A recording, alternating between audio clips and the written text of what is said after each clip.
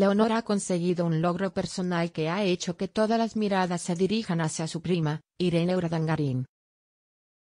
Leonor está siempre en el disparadero por ser la heredera al trono de España.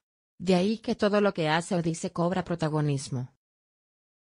Y precisamente ahora ha saltado a la actualidad porque, sin querer, ha hecho que su prima Irene Urdangarín reciba burlas.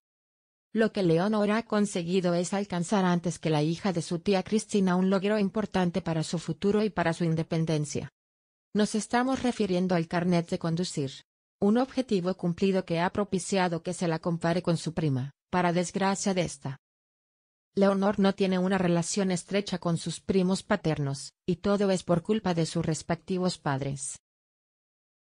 Sí, porque el caso Noos, que hizo que Iñaki Urdangarín acabara en la cárcel, dinamitó de una vez por todas a la familia.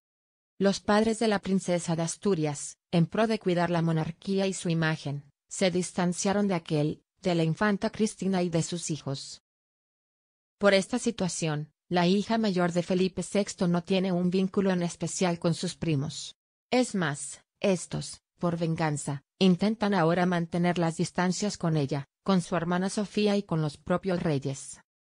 Y ha quedado demostrado en más de una ocasión, como en la reciente misa funeral en homenaje a Constantino de Grecia. Otro ejemplo es que Leonor sufrió el feo de muchos de esos familiares el día en el que cumplió 18 años y juró la Constitución.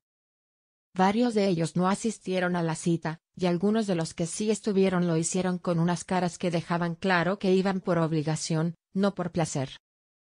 Eso sí, la princesa de Asturias ahora le ha devuelto ese menosprecio público a Irene, aunque lo ha hecho sin querer. La ha puesto en el disparadero, provocando que esté recibiendo las burlas y críticas de numerosos medios.